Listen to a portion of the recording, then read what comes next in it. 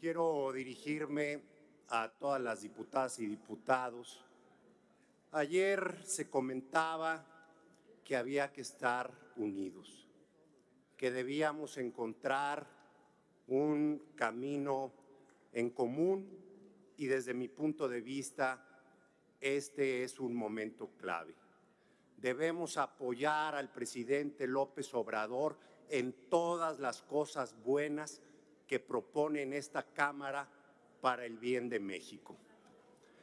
Lamentablemente, hasta el momento no hay ninguna cosa buena que haya propuesto a esta Cámara.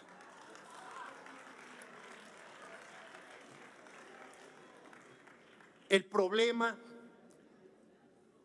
el problema es que en esta Cámara el Ejecutivo está proponiendo un galimatías castrochavista que ejemplifica que no propone nada positivo. Este dictamen contiene una de las iniciativas más peligrosas que han llegado a la Cámara desde la posrevolución. Es ingenuo debatirlo técnica o legalmente. Simple y sencillamente es un avance del comunismo latinoamericano. La Guardia Nacional se ha construido sobre el debilitamiento de las policías municipales y estatales y el presidente fracasó. El estatus en el robo de domicilios, en el robo a negocios, en el robo a personas, en el robo a vehículos, además de la triste realidad de un país con 130 mil personas muertas, por homicidio doloso y más de 35 mil personas desaparecidas no localizadas tan solo en el, en el gobierno de la cuarta T, nos dice que el presidente fracasó con la Guardia Nacional. Solo el terrorismo y la delincuencia han ganado. Esta iniciativa, repito, no seamos ingenuos, no tiene fines legales, administrativos, de seguridad pública o de seguridad nacional. Es una medida política metaconstitucional de control autoritario, como en Cuba, como en Venezuela y como en Nicaragua. ¿Qué habría pasado si el dinero de la Guardia Nacional se hubiera orientado a un programa para fortalecer las policías estatales y municipales?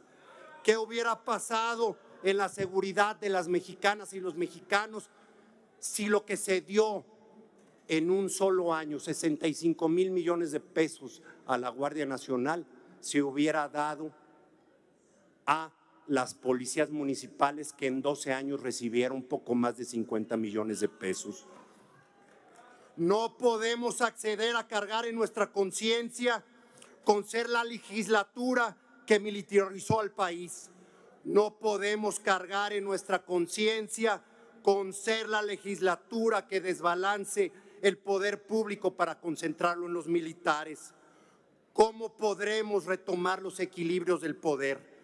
¿Cuánto tardaremos en ello? ¿Cuánto tiempo nos va a pasar para ver que los mandos militares y sus hijos van a estar metidos en los negocios del poder público?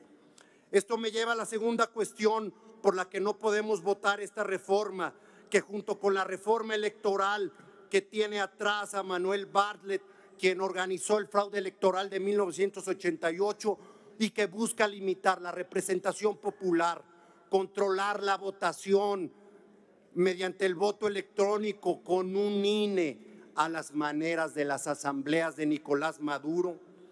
La militarización del país y la reforma electoral representan un avance claro para imponer el castrochavismo en México por encima de la evolución democrática del país. No al castrochavismo en México, no a la militarización y no a la vulneración de nuestras instituciones electorales. Es hora, mientras podamos, de frenar al presidente en su deriva autoritaria. No me digan que no saben que este modelo de Guardia Nacional es para tener instrumentos y poder aplacar a quienes despierten y se cansen de la miseria.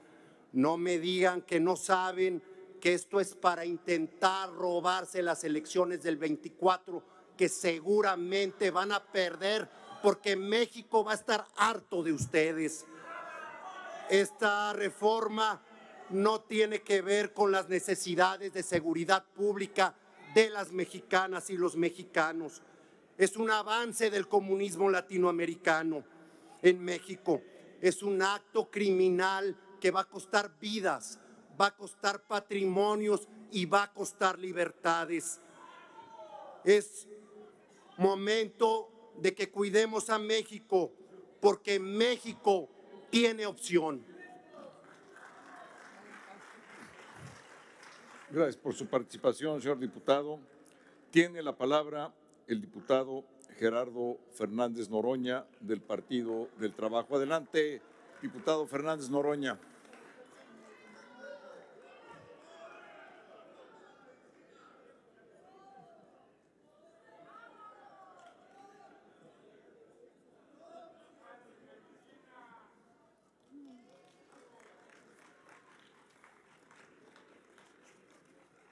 Adelante, diputado.